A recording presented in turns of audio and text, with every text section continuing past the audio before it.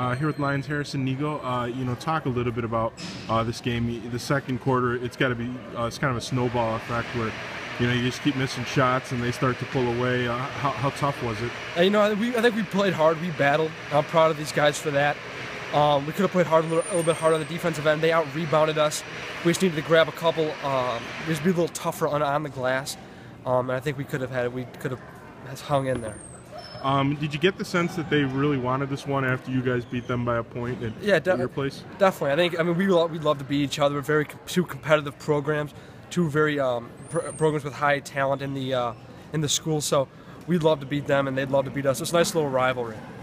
Uh, there's a team that you could very well see again uh, uh, down the road. Um, you know, talk about uh, the rivalry you have with them. And yeah, definitely. They're a bunch of good players. I mean, they got a lot of good pieces, guys that'll go on and play at the next level. Uh, I really, if we get a chance to play them in the state tournament, I'll, I'll be. I'm looking forward to that. Hopefully, we do get another crack at them. Uh, what's the key to stopping them? I guess they have that inside-outside capability with, with Eric outside and, and Simi inside. Uh, you know, what do you guys need to do to, to be able to shut that down if you face them again? Yeah, I think you just got to control the glass. I think you got to uh, be tough on the uh, offensive and defensive glass. Try to limit as many second chance points as possible, and then um, hope to slow down Simi and uh, Eric. All right, thank you very much.